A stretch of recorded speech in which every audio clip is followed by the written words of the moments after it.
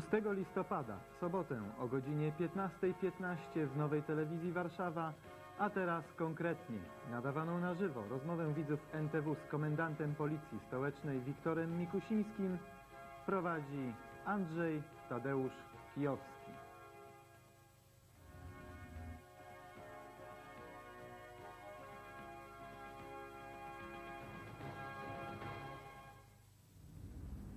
Witam Państwa. Witam Państwa bardzo serdecznie. Przepraszam za 5 pół do czwartej, ale e, witam również Pana e, Komendanta Wiktora również. Mikusińskiego i e, proszę Państwa o telefony. Możecie do nas Państwo dzwonić na numer 200573, na numer Państwa ważne pytania. Wiktor Mikusiński, kilka słów. E, strzelec, do niedawna radny w dzielnicy Żoliborz, od dwóch lat Komendant stołeczny, czy nazwa jest prawidłowa, komendant stołeczny e, warszawski policjany, e, zwolniony, znaczy najpierw zwolniony z policji, internowany, e, następnie działacz opozycyjny, działał w piśmie e, Myśl, był kolporterem, wydawcą. Mówi o sobie, że ma zarówno doświadczenia jako osoba ścigana, jak i jako ścigający, bo jednak kryminalista. Do służby czynnej prawa. e, ówczesnego prawa.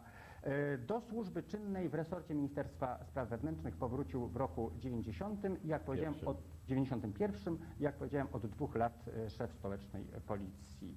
E, Ostatnio mogliśmy go poznać jako kandydata na posła do Sejmu. Kandydował z ramienia PBWR-u, bezpartyjnego bloku współpracy z rządem. No bezpartyjnego, tym niemniej jak każda opcja polityczna, jakoś tam politycznego i stąd chyba pierwsze pytanie do policjanta. Co po panu, co po policjancie w polityce?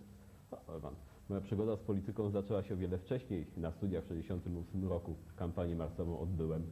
Później właśnie w roku 80, kiedy usiłowałem z innymi kolegami reformować resort, później chyba 10 lat tak powiem, tego mojego stanu wojennego, kiedy już zajmowałem się ściśle działalnością polityczną i przy tej okazji miałem, mogłem uczestniczyć w takim wydarzeniu, jak był Okrągły Stół.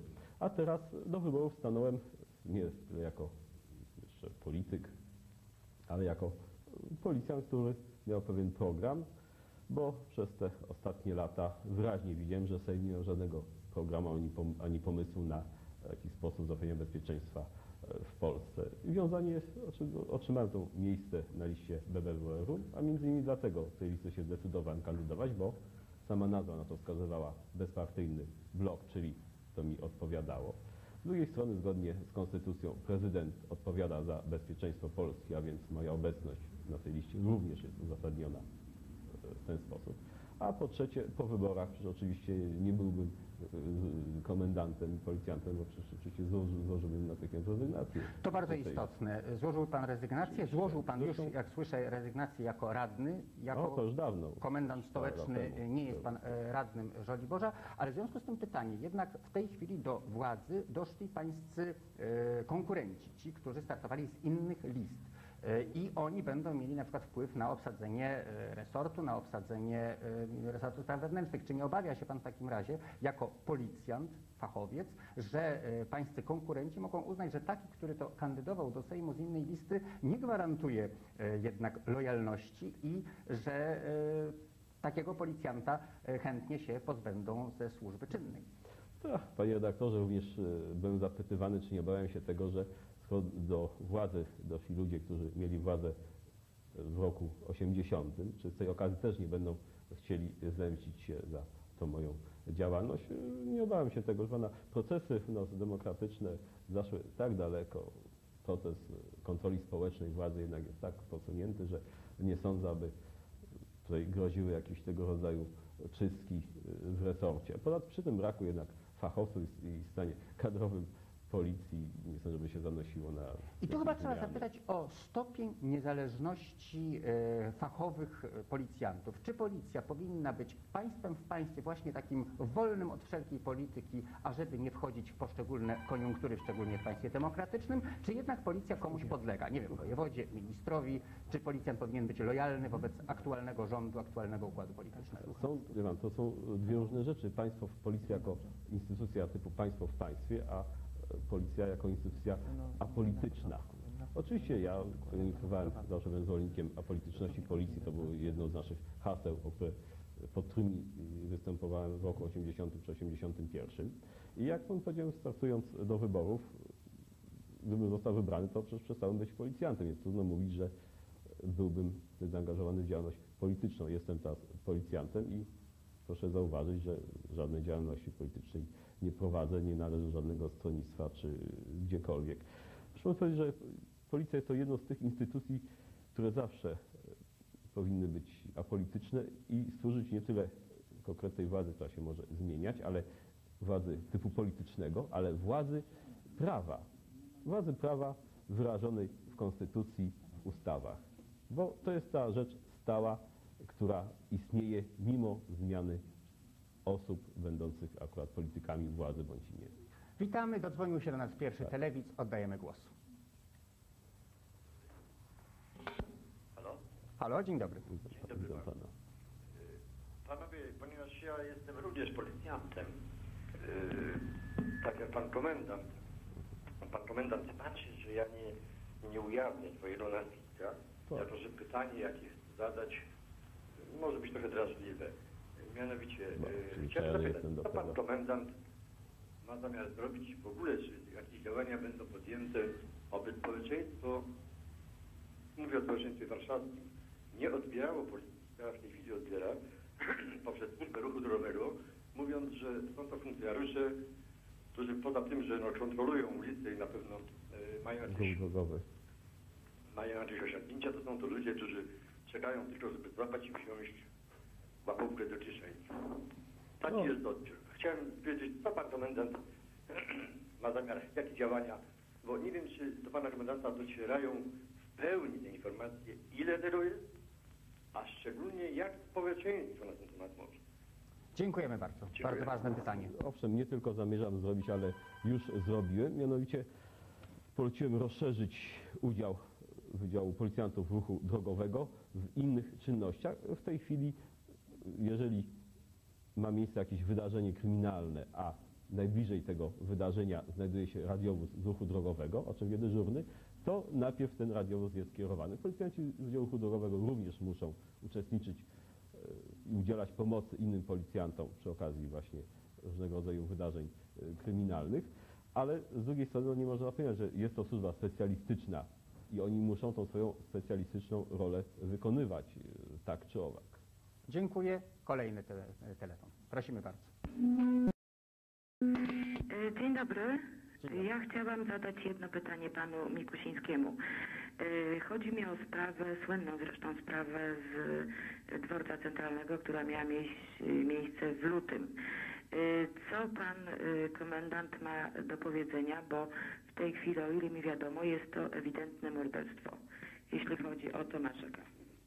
Chciałabym usłyszeć jakąś konkretną odpowiedź, bo policja się z tego y, strasznie brani rękami, nogami, a wreszcie prawdę chciałabym usłyszeć. Postępowanie, śledztwo prowadzi prokuratura właśnie dlatego, żeby nie było zarzutów stronniczości czy jakiegoś nieuczciwego postępowania ze strony policjantów, no, którzy mieliby tą naturalną chęć obrony ewentualnie swoich kolegów. I stąd też, jeśli chodzi o wiadomości z tego śledztwa, należy zwrócić się do prokuratury rejonowej w Śródmieściu, gdyż ona to prowadzi. Ja od samego początku też określałem, mówiłem jasno, że jeżeli policjant popełni wykroczenie czy przestępstwo, to oczywiście będzie surowo ukarany i jako policjant, i jako obywatel, który podlega przepisom ustawy. Wszelkiego rodzaju tego przypadki wykorzystujemy właśnie do analizy, do tego, żeby znaleźć jakieś sposoby przeciwdziałania, żeby w służbie nie, zda, nie zdarzały się tego rodzaju zdarzenia. Niemniej jednak chciałem zauważyć, że dopóki sprawa nie została e, przez prokuraturę potwierdzona, nie została osądzona, to trudno mi zajmować stanowiska zdecydowanego i mówić, że właśnie tak było, że to policjanci są winni śmierci, bądź nie. Sprawa nie jest jeszcze, śledztwo nie jest jeszcze zakończone. Panie komendancie, kiedy w 70 roku, y, 70 latach y, zaczynał pan służbę, był taki film Przepraszam, czy tu biją? Biją, tak, nie ma takiej policji, gdzie by się to nie zdarzało. Chciałem zapytać, czy w ciągu tych 20 lat może pan powiedzieć, że mechanizmy samokontroli, a również zewnętrznej kontroli policji są y, silniejsze i że w tej chwili, jeżeli to rzeczywiście policja bije, będzie to udowodnione? Jaką ma na Oczywiście. pewność, że Tak, chociażby właśnie z tego, co Państwo, z tego przykładu właśnie podanego. To przecież prasa to nagłośniła. Proszę pamiętać o tym, że w tych latach 70., 60., 80. nie istniało nic w postaci społecznej kontroli organów ścigania, ani jakiejkolwiek innej. Była to zamknięta struktura. Jeżeli coś z niej wychodziło, to w związku z tym, że no, musiało wyjść, bo służyło jakiemuś tam politycznemu Dziękuję. Konkretna odpowiedź. Prosimy o konkretne pytanie. Kolejny telefon. Dzień dobry. Dzień dobry. Witam. Ja chciałem spytać o taką sprawę. Słychać dużo głosów w prasie, w telewizji, że w policji brakuje ludzi, sprzętu, pieniędzy i tak dalej. Ja jestem w tej chwili bezrobotnym. Jestem, nie chwaląc się, dobrym kierowcą, znam dobrze miasto i tak dalej. I chciałem spytać, bo dowiadywałem się, czy mam szansę właśnie pracować w policji. I dostałem zawsze odpowiedź odmowną. Dlaczego? Ale gdzie się Pan dowiadywał po pierwsze? Znaczy dowiadywałem się w komendzie głównej, na przykład stołecznej. ja jestem komendantem stołecznym, nie komendantem głównym, więc jeżeli Pan chce znaleźć pracę w komendzie stołecznej Policji Warszawskiej, to proszę się zgłosić do sekcji naboru, znajduje się ona w Pałacu Mostowskich. Przez okres ostatniego teraz lata, kilku miesięcy była blokada etatów. Mimo tego, że w Warszawie brakuje, mam wolne prawie 2400 etatów, mogę tyle przyjąć mężczyzn. Przez ostatnie miesiące była blokada, nie mogło nikogo przywołać. W tej chwili od dwóch tygodni tak, y, otrzymałem zgodę na przyjmowanie i proszę się zgłosić do sekcji naboru. Czy człowiek, który... E, Dziękujemy panu za telefon, ale ja mam jednak pytanie, czy właśnie kierowca, który ma pracować w policji, y, powinien mieć jakieś wyższe y, wymagania niż y, człowiek pracujący gdzie indziej, właśnie ze względu na wielokrotną możliwość y, nadużywania władzy. A właśnie, tutaj bardzo ważną rzecz Pan poruszył. Otóż dlaczego tylu kandydatów chętnych do pracy w policji, zwłaszcza u mnie w komendzie stołecznej, jest nieprzyjmowanych? A właśnie ze względu na to, że prowadzimy testy psychologiczne, które starają się określić osobowość na przykład. I osoby ze jakimś dużym wskaźnikiem przykład sadyzmu, niedojrzałości, tych osób nie przyjmujemy. Przecież policjant musi jednak mieć tą osobowość mocną, osobowość pewną, która da tą gwarancję, że nie będzie nadużywał swoich uprawnień. A więc jedna policja czy wiele? Jako radny, jako e, jeszcze niedawno kandydat do Sejmu mówił Pan dużo o samorządzie, o samorządowych formach e, również e, przestrzegania bezpieczeństwa. Czy inne są kwalifikacje dla mm, służb e, tak zwanej Straży Miejskiej niż dla policjanta? Czy mówiąc inaczej, Straż Miejska to coś gorszego, czy może mniej odpowiedzialnego? Nie powinno być tak.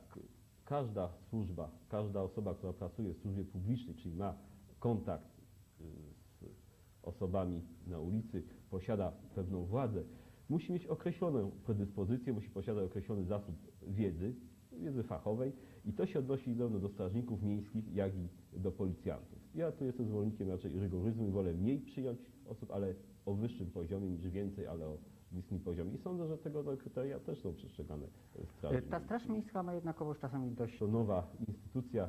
Mieszkańcy Warszawy nie bardzo wiedzą, jaką ona dokładnie roli, pełni rolę, jak jest umocowana, skąd wyrasta. Jej kompetencje są ograniczone. Ona musi sama znaleźć swoje miejsce, pokazać, że jest tą prawą ręką burmistrza czy prezydenta e, Warszawy, która służy do określonych ściśle właśnie. Co wolno, powiedzmy celów. ludziom, bo nie, nie, y, oczywiście nie wszystko, ale co wolno strażnikowi miejskiemu, y, a czego mu nie wolno w odróżnieniu od policjanta? Straż Miejska zgodnie z ustawą jest powołana do podejmowania czynności takich administracyjno-porządkowych i jest rejestr wykroczeń. Czy strażnik miejski może mnie zatrzymać, mandaty. kiedy prowadzę samochód? Na Nie, no nawet jakiś tu w doktrynie się z tego tytułu powstał. Stoimy na stanowisku, zgodnie z przepisami ustawy, że strażnik miejski nie ma uprawnień Nawet kiedy do jeżdżę po zatrzymywania. trawnikach.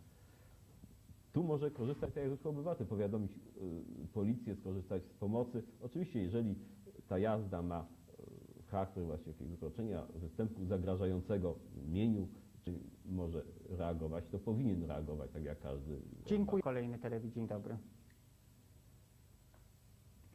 Ja chciałam zapytać pana komendanta, ponieważ byłam ofiarą zatrzymania przez pana Rutkowskiego i bezczelnego zachowania się wobec mnie, chciałam się zapytać, czy pan Rutkowski ma prawo, tak jak policja, zatrzymywać osoby, sprawdzać na środku i robić wstyd przy wszystkich, yy, ponieważ ja teraz jestem jeszcze zdenerwowana, ponieważ potraktował mnie jak złodzieja. Ja, ja samochód kupiłam legalnie. E, On wobec mnie bardzo brzydko się zachował. Chciałam się jak policja reaguje na postępowanie pana Rutkowskiego? Dziękuję, do widzenia.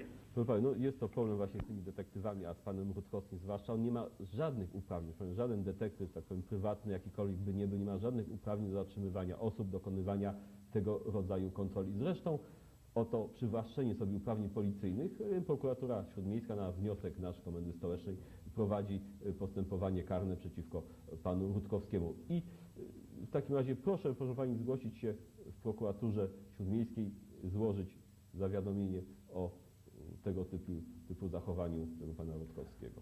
Policjant to nie jest najbardziej uwielbiany zawód i chyba nigdzie na świecie.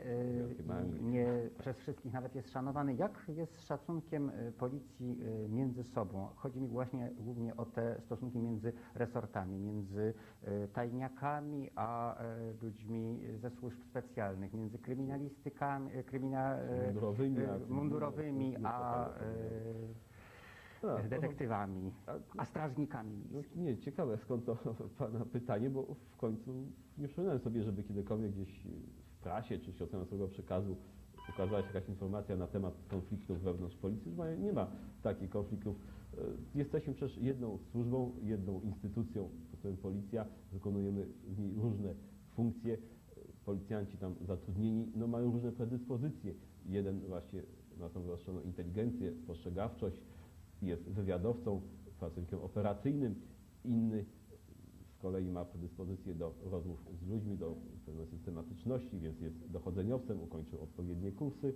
I wszyscy wiedzą, że pracujemy na ten jeden, e, dla jednego celu, udowodnienie winy przestępcy. I tutaj nie powiedziałem, że istnieją jakieś między nami nieporozumienia, no, No a nieporozumienia e, Może przeszłości. to- Żyliśmy długo w państwie policyjnym, ono się powiedzmy skończyło w 1989 roku e, i bardzo duża część kadry została wymieniona. Czy to jednak pracy policyjnej w jakimś stopniu nie zaszkodziło? Krótko mówiąc, czy nie ma w tej chwili e, jakichś e, napięć pomiędzy starymi fachowcami, a młodymi może hundejbinami?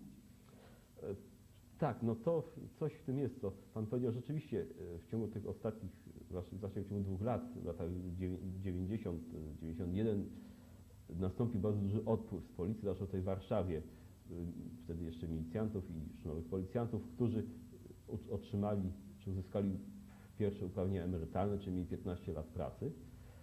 Sytuacja polityczna była taka, jak powiem, dla nich dosyć, jak to oceniali, dosyć niebezpieczna, niepewna, woleli e, z tym pewną minimalną emeryturą pójść, odejść do cywila i poszukać sobie innej pracy.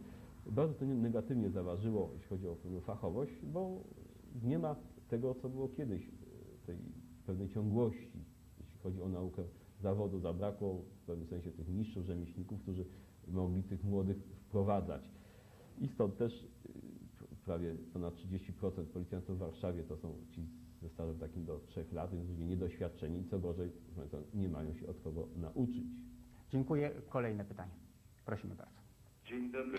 Dzień dobry. Mam pytanie, jestem mieszkańcem Warszawy, pytanie do, do pana komendanta. E, Jak, kiedy nareszcie e, policja uzyska uprawnienia takie, jakie ma na całym świecie, kiedy nareszcie stanie się tak, że mieszkaniec Warszawy będzie mógł spokojnie chodzić po ulicach i nie będzie łopus głaskany po główce przez policjanta, tudzież ewentualnie prokurator nie będzie mógł stwierdzić, że Niestety jest to czyn społecznie niegroźny i wypuszczamy go z aresztu.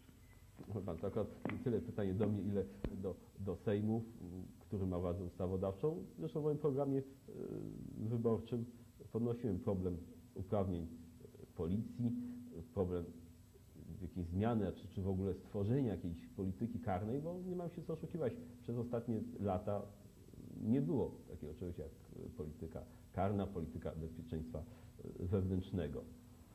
I tyle mogę Panu powiedzieć. Natomiast oczywiście jestem zwolennikiem czy tak zwanego zakupu kontrolowanego, czy instytucji świadka e, koronnego. Powiedział Pan, że bardzo dużo ludzi odeszło e, z policji. Mówi się jednocześnie o tym, że świat przestępczy e, stał się bardzo silny. Czy nie jest przypadkiem tak, że został on zasilony przez fachowców zwolnionych ze służby czy- czynnej? Takie przypadki mogą mieć, ale to nie jest zjawisko masowe i nie jest to, że tak powiem, powodem rozwoju przestępczości. Przecież przestępczość jako zjawisko społeczne żywi się zupełnie innymi źródłami. To przecież wyrasta korzenie do społeczeństwa, systemu prawnego, systemu gospodarczego. Także to nie widziałem w tym. w tym- Mówi się o tym, że e, zapanowały w Warszawie mafie. Czy to nowość, czy może dotychczas się o tym nie mówiło? Te mafie taksówkarska, mafia rosyjska. Dla mnie mafia to jest to ta instytucja określona tej klasycznej definicji mafii, to znaczy działalność, e, prze- organizacja przestępcza, działalność kryminalna połączona z działalnością e, gospodarczą, inwestowaniem w sferze gospodarczej i z korupcją e, świata polityki i administracji po to, żeby zapewnić sobie bezpieczeństwo. Natomiast to, co Pan powiedział, tak zwane mafie taksówkarskie, rosyjskie i inne, to są nie spełniały tego kryterium mafijnego. O ile wiem, cała działalność zwanej mafii taksówkarskiej polega na przybijaniu sobie opon czy jakimś wzajemnym straszeniu się, a są to występki ścigane na wniosek bądź oskarżenia prywatnego. Jeśli chodzi o przebijanie opon, są to wykroczenia i trudno mówić, że to jest mafia. Natomiast co innego tu jest groźne, nieskuteczność prawa. Są to, jest to wykorzystywanie braków w prawie i dziwi mnie bardzo, że nawet w najbardziej rozbuchanym kapitalizmie, jaki panuje w Anglii, w Londynie taksówkarz, działalność taksówkarska, czy w ogóle jakakolwiek działalność e, publiczna osób, które wykonują jakieś usługi dla publiczności jest bardzo reglamentowana, bo ta osoba, która wykonuje usługi na rzecz publiczności musi spełniać określone kryteria. U nas tego nie ma. Każdy może zostać sobie taksówkarzem w momencie, w którym zachce i nie obowiązują go żadne reguły, żadne przepisy. A przecież, proszę Państwa, następnego dnia po wprowadzeniu reglamentacji zawodu taksówkarskiego, określeniu wymogów cenowych, po wprowadzeniu obowiązku posiadania taksometra, który wy, wykaże, wybije cenę, a nie tylko przelicznik i po wprowadzeniu e, zasady, że opinia policyjna będzie e, skutkowała na przykład odebraniem koncesji na taksówkę. Następnego dnia po tych przepisach nikną mafie. Na szczęście nie każdy może zostać policjantem. Kolejne pytanie. Rozłączył się kolejny nasz mi- 20 79 11, 20 57 53. Oczekujemy jeszcze na Państwa y, telefony. Chciałem zapytać, co z y, przestępstwami, co z y, łomiarzem z Pruszkowa, co, co, co z łomiarzem z, z, ze Śródmieścia. znowu od pewnego czasu zaczyna się interesować. No oczywiście, mówiłem, różnego rodzaju informacje są tak powiem, publikowane, sensacyjne bądź mniej, jest, nie ma. Muszę Państwu powiedzieć, że e, tutaj jestem akurat e, w tej sprawie optymistą, bo wyeliminowaliśmy już większość e, tych osób, których podejrzewaliśmy. Mamy takie tam kilka osób, wśród których prawdopodobnie, jak oceniamy, jest właśnie ten sprawca. I robimy te drobiazgowe czynności, bo to musi być przecież bardzo dokładnie. Każdy czyn mu zarzucany musi być opisany, udokumentowany, zebrany po to właśnie, żeby można było... Przejęzyczyłem się, y, uciekł y, groźny morderca z Pruszkowa. Y, Tak, no Jaka to- sytuacja? Jest ścigany, brat mu w tym pomagał. Uciekł z zakładu zamkniętego ze szpitala właśnie dla psychicznie chorych. To też tak to nie najlepiej świadczy o tym, co się dzieje w tym szpitalu. W każdym razie w stan pogotowia postawione są moje wszystkie służby i sądzę, że na pewno. Tym razem ktoś się dodzwonił. Prosimy. Dzień dobry. Dzień dobry. Dzień dobry. Dzień dobry. Chciałem się dowiedzieć, y, czy pan komendant y, raczył kiedykolwiek zajrzeć do jednostek policji w Warszawie na, i zobaczyć, jakie są środki łączności, y, materiały piśmienne, czy są środki do pisania na maszynie na przykład i inne y, typu związane. Właśnie to jest y, z pracą dochodzeniową i pracą podstawową policjanta na miejscu. Może doprecyzuję to pytanie. Środki y, piśmienne to również komputery. Jak wygląda łączność? Proszę Jak wyglądają bazy danych? Mogę w ogóle uspokoić właśnie pana, który zadawał pytanie. Ja nie raczę zaglądać, ja to robię z poczucia obowiązku i tak powiem nad własnej ciekawości, żeby jak to żeby zobaczyć jak pracują policjanci nie tylko zaglądam do komisariatów, ale zatrzymuję się jadąc samochodem, widząc radiowóz czy policjanta patrolującego, interesuje mnie właśnie co on robi, czy wie e, co robi i wiem doskonale jaki jest stan wyposażenia e, naszych jednostek. Wiem, że jest e, fatalny i właśnie często takie rozbija się i, i o papier, no ale to są sprawy budżetowe. Jeżeli nie otrzymujemy na to środków, to trudno, musimy cierpieć tak jak wszyscy. Natomiast też mogę powiedzieć, mamy pewne op- optymistyczne y, dane. Wiecie, Komenda Stołeczna jako była pierwsza otrzyma to skomputeryzowane stanowisko dowodzenia. Jesteśmy, rozpoczynamy też Na czym komputeryzację. ono będzie polegało? Co ono, czy ono a, przy, no nareszcie to pracę? moje marzenie. Wszyscy policjanci będą tak powiem, uchwytni i sterowani, zwłaszcza wszystkie e, czynności. Na bieżąco będzie informowane o tym, co się dzieje, będzie mogło udawać, udzielać porad, polecenia i jednocześnie wysyłać y, posiłki. I to sądzę spowoduje y, niesamowite polepszenie i skuteczność y, pracy policyjnej oraz wykorzystanie czasu przede wszystkim policjanta. Dziękuję, czas nam powoli dobiega końca. Proszę bardzo, jeszcze kolejny nasz słuchacz. Dzień dobry panu. Dzień dobry. Panu. Ja mam takie pytanie. Od dwóch lat jeżdżę bez prawa jazdy i kwestia jest tego, że mnie to kosztuje od 200 do 500 tysięcy tygodniowo za jeżdżenie bez prawa jazdy. Czy to jest normalne w policji naszej? No Oczywiście, że nie, no nie wiem jakim cudem panu się to uda- udaje. Nie sądzę, że rzeczywiście jest tak, że pan tygodniowo płaci te 200-500 tysięcy za brak prawa jazdy, chociażby biorąc pod uwagę to, ileż osób właśnie jeżdżących bez prawa jazdy, czy e, popełniających wykroczenia jest karnych mandatami, czy sprawy kierowane są do kolegium do spraw wykroczeń. Więc być może ma pan jakiś, jest pan wyjątkowym przypadkiem, no ale, No ale ta historia o tym, ile kosztuje, e, nie wiem, drink e, i e, ile, e, Owszem, krótko to- mówiąc łapówkarstwo, e, czy jest jakiś sposób na to, żebyśmy byli całkowicie pewni, jako już e, dowódcy, że nasi podkon... Tak, to nie jest policjant, nie jest robotem, jest człowiekiem. On wywodzi się z jakiegoś środowiska, z jakiejś rodziny, jakieś wykształcenie odebrał, jakimiś wartościami nasiąkł i to później wychodzi w służbie. To jest jedna strona medalu, druga strona medalu jest właśnie społeczeństwo. Jeżeli tak powiem, są członkowie społeczeństwa, którzy chcą demoralizować policjantów i im się udaje, to niestety musimy sobie powiedzieć jasno, że w tych warunkach, zresztą na całym świecie zawsze część policjantów temu ulegnie. No jest to problem, walczymy z tym jak możemy, ale przez tego się nie bądźmy znowu utopistami, wiadomo, tego się nie da zlikwidować. Dziękuję. Ostatnie pytanie. Dzień dobry. taką jedną rzecz. W latach 80. Polaków łapano w Wiedniu, w Berlinie na handlu e, artykułami różnymi pochodzenia polskiego. Byli oni łapani przez policjantów. Chciałem się z tym spytać o taką rzecz.